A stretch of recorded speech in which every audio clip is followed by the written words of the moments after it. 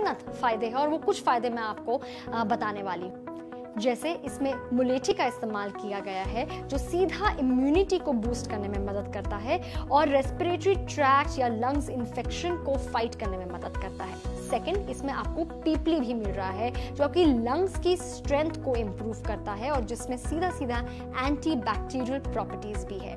गिलोय जो immunity boost करता है एंटीऑक्सीडेंट से रिच है, यहाँ तक कि एंटी एलर्जिक प्रॉपर्टीज़ भी है। इसमें आपको टर्मरिक यानी हल्दी में मिल रहा है, और हर कोई जानता है ये कितना ज़्यादा हेल्पफुल है आपकी इम्यूनिटी को बूस्ट करने के लिए, यहाँ तक कि इसमें एंटी कैंसर प्रॉपर्टीज़ भी है। मंडुक पर्णी जो एंटी कैंसर प्रॉपर्टीज़ के साथ आता है। हार्बर एंटी ट्यूमर प्रॉपर्टीज़ जिसमें है। Kalmegh stimulates immune system ashwagandha immunity boost करता है। भूमि आंवला, जो विटामिन सी से इनरिच्ड होता है और जिसमें एंटी ट्यूमर प्रॉपर्टीज़ भी होती है। डिओडार जिसमें एंटी इंफ्लेमेटरी प्रॉपर्टीज़ है, यहाँ तक कि एंटी कैंसर प्रॉपर्टीज़ भी है। सलाई गूगल जिसके अपने ही कई सारे फ़ायदे हैं।